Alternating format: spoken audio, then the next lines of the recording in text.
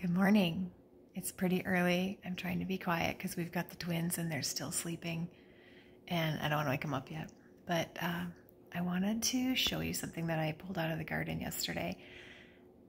A couple years ago, I harvested a watermelon, and on the inside of the watermelon, it was actually a pumpkin, so it had cross pollinated. And I had posted that video to YouTube and I had a ton of people that were messaging me and telling me that cross pollination was not a thing, that I clearly planted a pumpkin and didn't know what I was doing. And um, I do know what I'm doing, and I know I planted a pumpkin or a watermelon. I didn't even plant pumpkins that year, but it so happened I had a volunteer pumpkin come up way over by the apple trees. And I think that's how it cross pollinated because I didn't even plant pumpkins that year. So a couple years after that, I had a butternut squash that was green. And butternut squash is a beautiful um, mustardy gold color and shaped like a bowling pin. Just so if you're wondering what a butternut squash is. So this year I planted uh, acorn squash and butternut squash. Because um, if you know me and you've seen my garden, you know I can't grow just one kind. I mean, that's ridiculous. Who grows just one kind?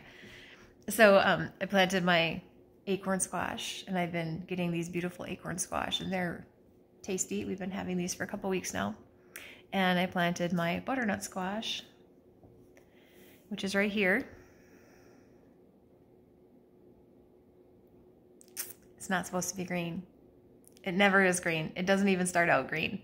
They start out a very pale uh, creamy yellow color and they end in this really pretty gold, dark gold color. This is completely ripe. And the way you can tell it's ripe is you can stick your thumbnail into the skin and if the and if it doesn't break through, then it's ripe, it's ready. So I did cut one open because all of my butternut squash are gold. Or um, I'm sorry, they're green. They're supposed to be gold, but all of my butter, butternut squash are green this year. So I cut one open just to see what it's like on the inside. It's just a beautiful squash. It's, um, who knows if this is going to taste more like acorn squash or more like butternut squash. It smells good. Yummy. I'm going to cook that up for supper tonight. But it's just, I mean, it's, uh, it looks like butternut squash on the inside. So we'll see. I clearly I'm not going to save seeds from this because you well it's not going to grow another green squash like this. It's going to grow one of the two parent squash. It's going to either grow to be acorn squash or it's going to grow to be butternut squash. I'm not going to get some fun green butternut squash every year. It's not going to happen. You'll get one of the two parent plants but i won't save seeds from these. Um, it's not worth it. But i just thought i would sh share this with you because um, cross pollination is a thing don't let anybody tell you different.